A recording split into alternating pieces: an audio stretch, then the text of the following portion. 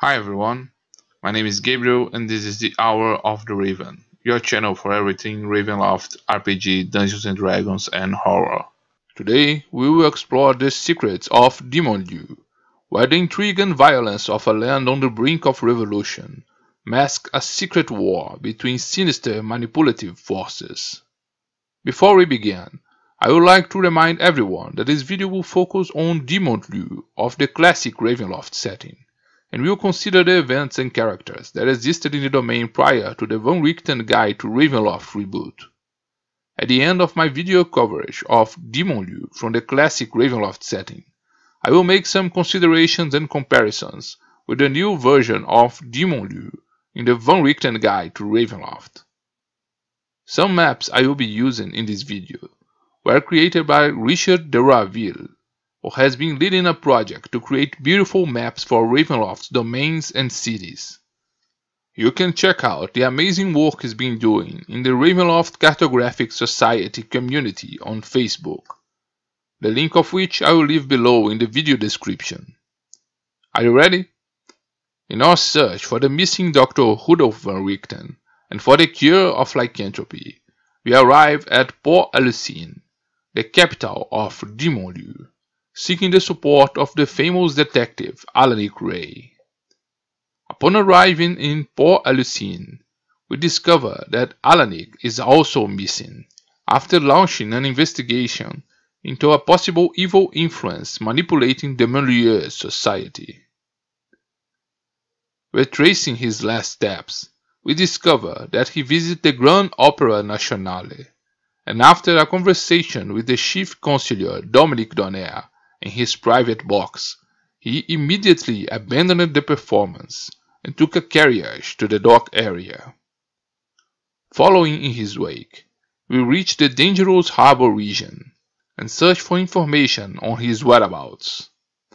At a tavern of dubious reputation, we found some informants waiting to speak for the right amount of coins. A ragged-looking man tells us that the renowned detective had rented an attic of a warehouse where he had established his base of investigations. As we walk through the alleys in the search of this address, we have the clear sensation of being followed and observed. At the door, no one answers our call, and we decide to break in. Inside the attic, we found that the place is abandoned, and Alanik Ray's notes and documents are scattered around the room. In search of answers, we delve into the notes and investigations of the secrets of Dementlieu.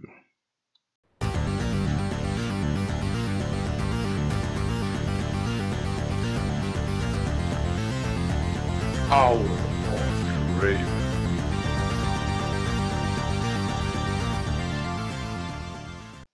Exploring the secrets of Dementlieu is like getting lost in a maze full of hidden traps. This sophisticated society hides intrigue, mysteries, and horrors, which, like a beautiful carnivorous plant, lure its prey to a deadly fate. While for many, the very soul and cultural identity of Dementlieu is inseparable from this remarkable capital, Port-a-Lucine, other towns and villages in this land also hide a range of sinister secrets. In the city of Edrigan, an aristocratic family has been tormented by many generations by an evil and possessive force. The leaders of the Madrigal family suffer the possession by an evil entity known as Drigor, a Gerlet Shator, a fiend who was engulfed in the mists from the lower plane of Carceri. The unholy phylactery that guard his soul was a quill pen adorned with gemstones and marble that is passed down from the elders to the younger generation of the family, allowing the fiend to always possess the head of the family. Under its control, generations of this family devoted themselves to writing the Madrigorian, a series of philosophical and occult treatises dealing with profane lore, known for the vast dealing of the lower planes and demonology, and its ability to corrupt the readers. In the past, Dr. Van Richten and a group of allies decided to destroy this evil entity, but the result was catastrophic. Although they managed to lure the creature into a mystical cage, a serious mistake was made when trying to bind the monster, and Drigor murdered almost all of the party. Dr. Van Richten speculates that he survived this encounter only because of the curse that damns him to live, to see the death and suffering of his companions. To this day, Drigor's whereabouts is unknown in the land of the mists. The city of Châteaufort, in the southern area of the domain, has also fallen victim to the influence of infernal forces in the past.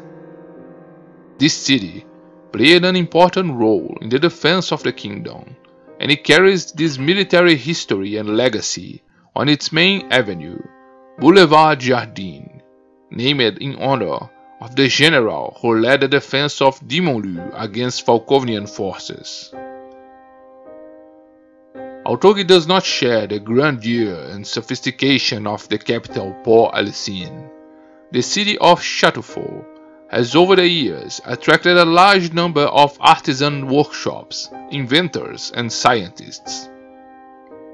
Far from the hype of the capital and the volatile interference of the politics and aristocracy, some renowned artisans settled in the city, which became an industrial hub.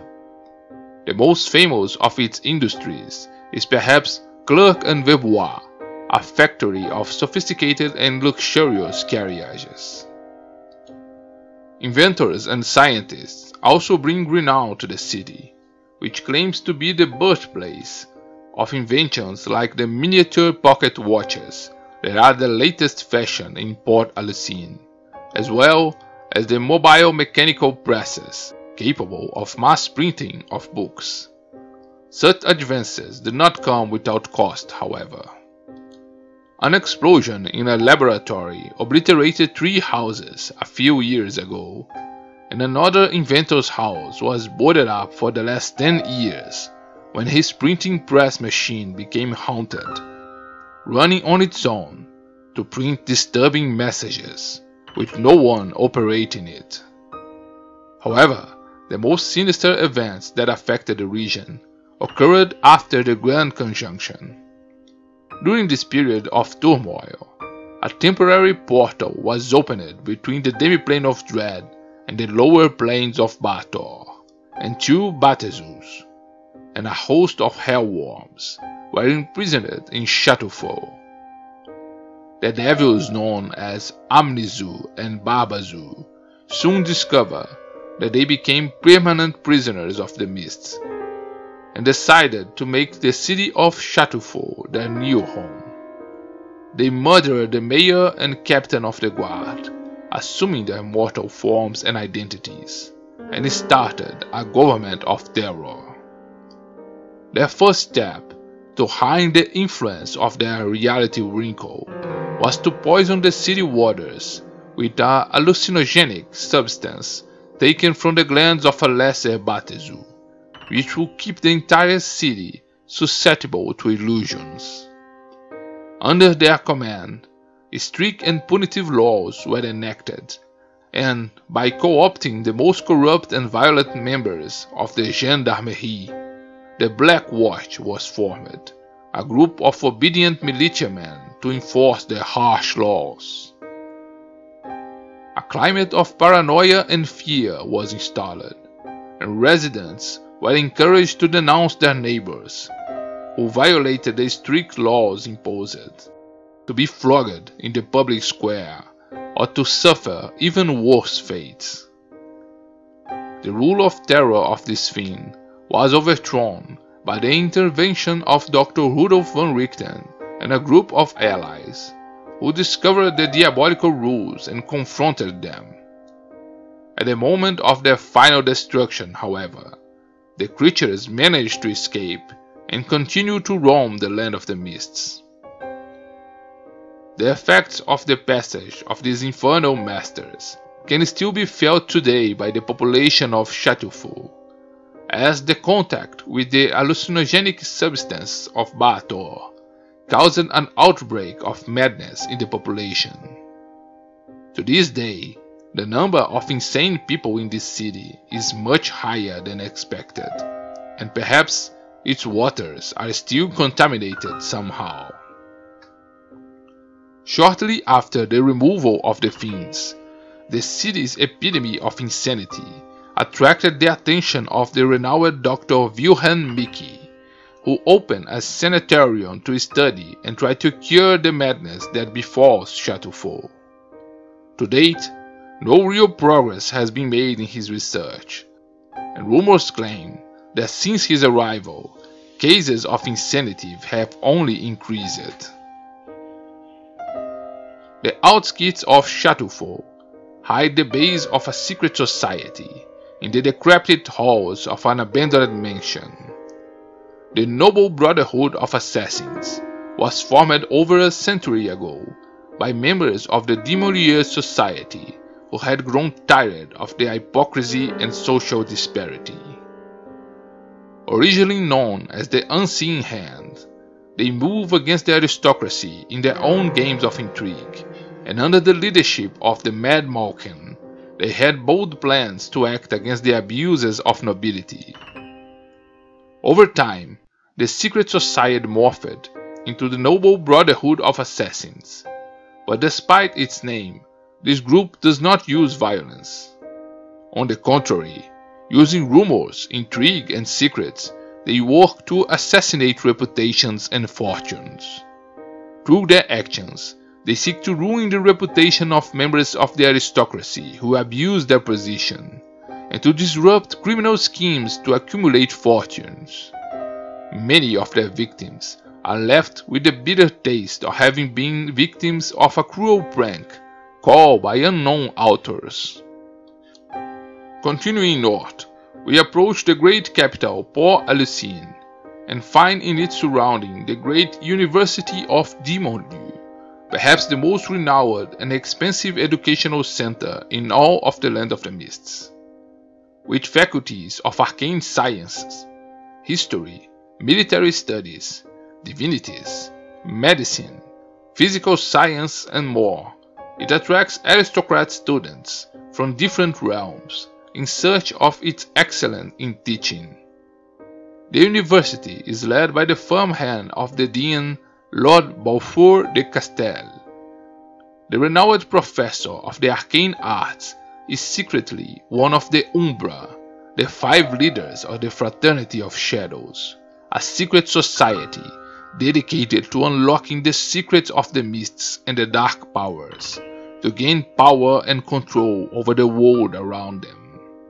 He takes advantage of his prestigious position and public figure as Dean to get close to monster hunters and adventurers, to uncover information and manipulate enemies who may in the future pose a threat to the fraternity. Even before arriving in Port-a-Lucine, in the Sable Bay, we find the estates and mansions of the elite of Dementlieu in the Domaines de la Vie Éclair, or the estates of the enlightened life. In this controlled access place, we find opulent palaces, full of paintings and frescoes, and splendorous gardens, where the most powerful and wealthy of all Dementlieu reside, among them the Lord Governor and the members of the Council of Brilliance. The most opulent of all the mansions, without a doubt, is the D'Honaire family manor, which has a large foyer for balls, and a beautiful hedge maze in its garden. Finally, close to the coast, around the Bay of Pernod, we reach the grand capital of Dementlieu, the beautiful and sophisticated Port-a-Lucine. Its ancient buildings and ornate architecture house one of the most modern and influential cities in the Land of the Mists, which is divided into several quartiers around the main hill where the Sainte-Mère-des-Larmes Cathedral is located. Not even this sacred site is spared from strange mysteries. In the ruined cathedral, is an ancient stained glass window featuring an image that many consider to be a representation of the deity known as Ezra. This icon is known for its healing powers, and there are many reports of people who, after praying at his feet, are healed of their injuries and illnesses. The truth is that this sacred artifact can also doom unworthy supplicants, and many have been those cursed by the stained glass. The icon of Ezra can heal the ills of those who demonstrate true faith and devotion and prove themselves worthy. The stained glass drains and stores the cured diseases and ailments in its colored glass, but it can also pour out such conditions on the unworthy who dare to plead for divine help. The most striking of all the districts that make up the city of Port-a-Lucine is without doubt the Quartier Public, where the majestic and grandiose government buildings and the most exquisite centers of art are located. The beautiful Place de Lyon is in front of the ruling palace and is surrounded by important centers of culture such as the Musée de Port-Louisine, Théâtre de l'Abbaye, and the Grand Bibliothèque. The most grandiose and striking of all these buildings is the Grand Opera Nationale, a splendid and luxurious construction adorned with columns, frescoes, statues, and large staircases that lead to a splendid theater adorned with gigantic crystal chandeliers. The building is surrounded by fear and superstition, and many say that the place was cursed by Avistani, and that all artists who perform there will die tragically. Others believe the opera is haunted by a vengeful ghost. These rumors only worsened after a tragic accident five years ago when one of the crystal chandeliers fell into the audience. Although many fear the supernatural, the fall of the chandelier was the subject of a complex plot of sabotage and murder. Aiming to ascend to the position of lead diva of the Grand Opera, the beautiful elf and talented singer Angel Polano plotted to spread rumors of a supernatural presence in the theater and made attempts on the life of Maria Diosa, the main star and daughter of the opera's owner. Angel Polano hid her truly monstrous nature. She was a werefox, and for years lived in Port-a-Lucine, seducing male victims and feeding on those who became uninteresting companions. In her quest for fame, she used her bewitched admirers in her murderous plot, until she was confronted by adventurers in the opera's underground tunnels. Another building that is shrouded in a tragic and macabre past is the Maison de Cire, or the House of Wax. This museum was a local tourist attraction featuring numerous waxworks and life-size recreations of remarkable figures and events. Its creator and founder, Alexander de Sir, was a renowned sculptor, and his wax statues attracted visitors from different parts of the mists. His house of wax brought him fame and fortune, but he felt his work were imperfect and incomplete. One night, Frustrated, he called upon supernatural forces to grant him his wish, and as he worked to exhaustion, he cut his finger. Blood mixed with the wax, used in his obsessive work, a sculpture of himself. To his horror, his sculpture opened his eyes and came to life, and the perfect statue of wax and blood drained the life from him with its touch, leaving the real Alexander in a comatose state, imprisoned in the basement of the House of Wax. The golem took the place of its creator and decided to create more of his kind. He sculptured replicas of blood and wax of many individuals and had these statues take the place of their victims. This invasion of wax monsters was prevented by the action of adventurers, who finally managed to free the comatose victims from the basement of the House of Wax and put an end to this horror. Next to the Quartier Public is the Quartier Savant, or the Noble District, where you can find a considerable number of luxury residences, with lush terraces and gardens, and also elite and luxurious restaurants and shops. Here, most of the intrigues and plots of the aristocracy are fought, in a constant political game, which involve manipulation, blackmail and bribes, that reach up to the Lord Governor and the Council of Brilliance. It is surprising that, with so much intrigue and unrest, the government of Dementlieu has experienced such a long period of stability, but this tranquility is due to the absolute control maintained by the chief councillor, Dominic D'Honaire, over his peers. The discreet chief councillor avoids appearing in the spotlight but it's a powerful mind influencer, capable of dominating and enslaving the will of those around him. Those who succumb to his mental domination sometimes end up becoming slaves to his will, becoming the obedient. Only the overlay of another mental domination can free an obedient from his servitude, and, like a spider in his web, Dominic D'Honaire maintains a network of slaves and spies to serve his will. Lord Governor Marcel Guignol is one of these obedients, and is already a frail old man, being held in power as a mere puppet for Dominic. The Council of Brilliance is also closely controlled by Dominic, who has made most of its members his obedients.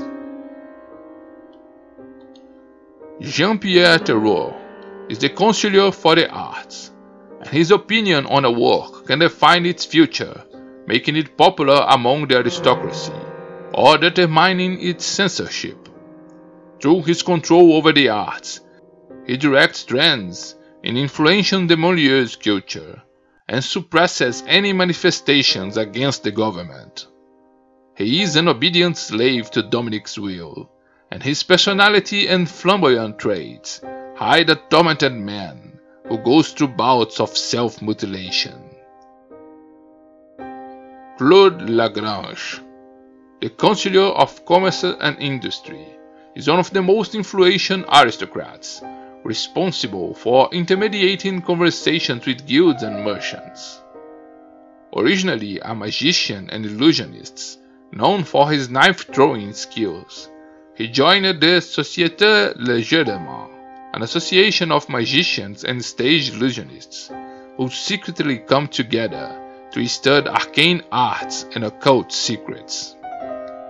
Currently, he has become one of the ancients, the leaders of this secret group, and his quest for occult knowledge has corrupted his essence, and the dark powers gave him the morbid ability to turn his neck all the way back. His leadership of the secret cabal and knowledge of the arcane arts caught the attention of Dominic, who enslaved him as an obedient and elevated him to the Council of Brilliance. Josephine Chantreux, the Consular for Defense and Order, is the commander of the Gendarmerie and a diplomatic leader.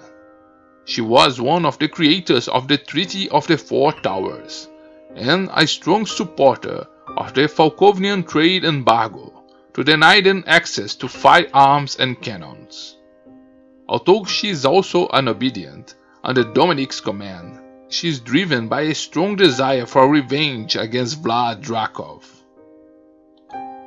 As a young girl, she saw her father murdered during the first Falkovian invasion, and her face was scarred from a beating which is why she always covers her face with heavy makeup. Her hatred drives her to attempt a crusade against Falkovnia, and she is trying to co-opt high-ranking defectors from the Falkovian armies.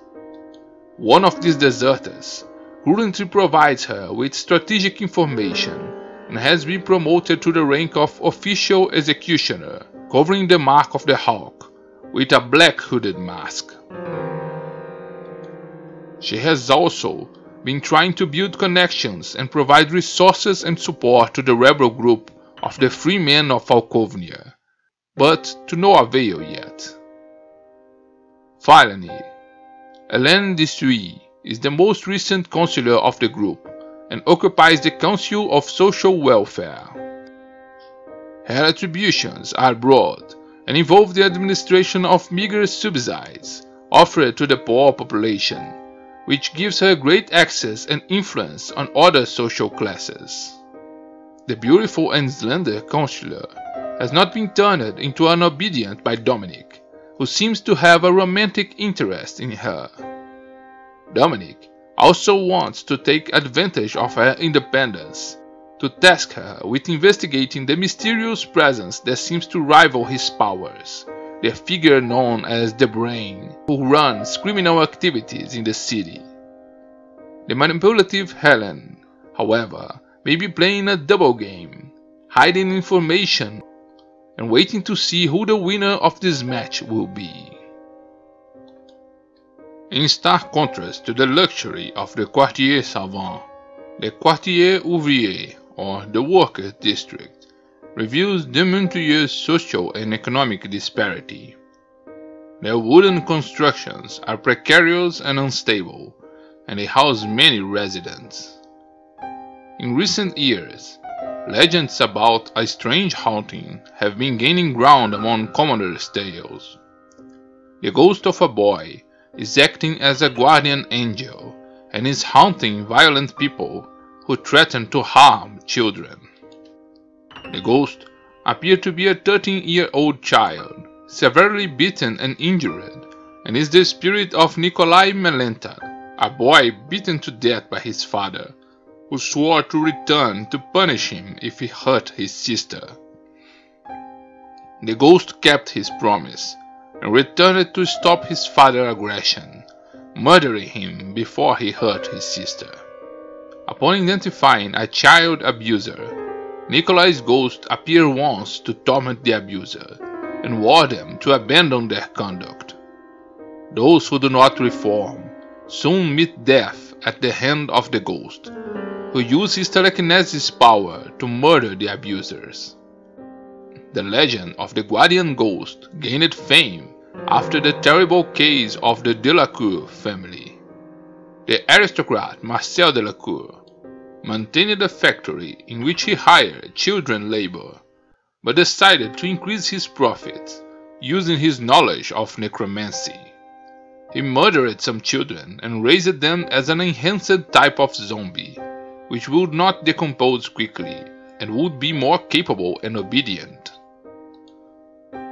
The action of Nikolai's ghost attracted the attention of a group of adventurers, and Marcel Delacour's plan were stopped. It is also amongst the poorest population that an insurgency begins to form. Injustice and social disparity have fueled the population's revolt and fury, and some have begun to organize themselves into political groups. One of these groups, called Lieudiers, or the Refuse, have banded together to make non-violent attacks on the aristocracy.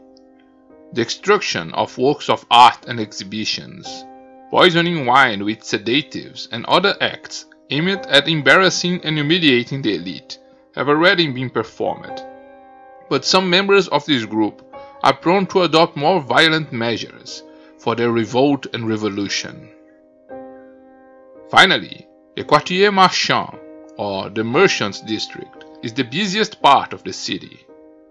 In the region are most of the aristocracy's workshop and industries, where workers earn their livelihood, and is home to the busy and dangerous port area. During the day, goods are constantly loaded and unloaded from the port, and sailors and ruffians fill the docks and taverns.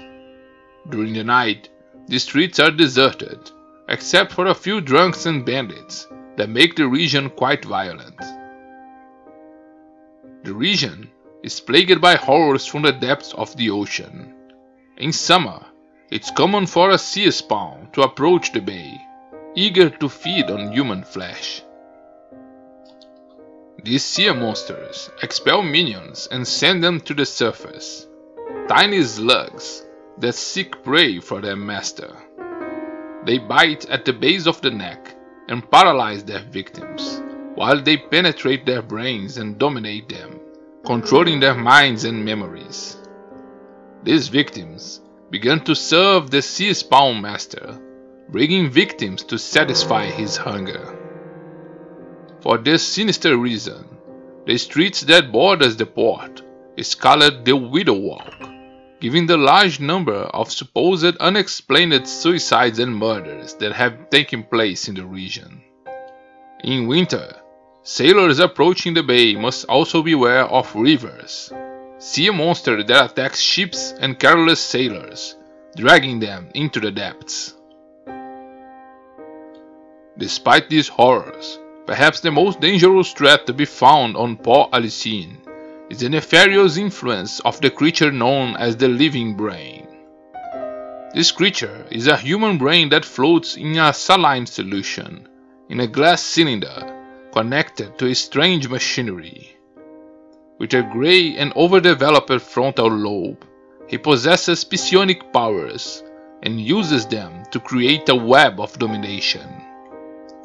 In the remote past, this creature was Rudolf von Aubrecker, the spoiled son of the ruling family of Lamordia. After suffering a naval accident, his wounded and dying body was found at the rocky shores of Schloss Mordenheim and taken into the care of the distinguished physician Dr. Victor Mordenheim. The scientist dismissed the wounded body as impossible to save, but noticing that the brain was intact, he performed the surgical procedure to transplant it into a saline solution. Many experiments were carried out on the brain, which, despite being alive, did not seem to respond to other stimuli. Over time, however, he developed psionic powers, and using his mind-bending capabilities, caused one of Mordenheim's assistants to flee with him from the scientist's lab taking the complex machinery with him. Assistant Alex Willhaven took the living brain to Port-a-Lucine, But the creature laid its plan for domination of the city with its mental powers. Hidden in a dockyard in the Quartier Marchand, he has numerous mind-dominated followers and runs a criminal network. Most of those who obey him do not know his true nature and believe that the brain is just the title of the organization's mysterious leader. Soon, the living brain discovered that its plans for domination were thwarted by another sinister influence over the city, and that several members of the city were already under the influence of another evil mastermind. Since then, Dominic D'Honaire and the living brain have been fighting a battle for the minds of Dementlieu secretly fighting for control of the city.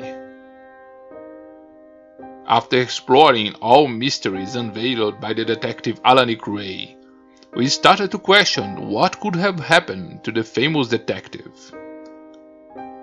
Alanik Ray came from the upper classes of Neblus in Darkon, but entered in conflict with his own father when he discovered that he was involved in a criminal scheme.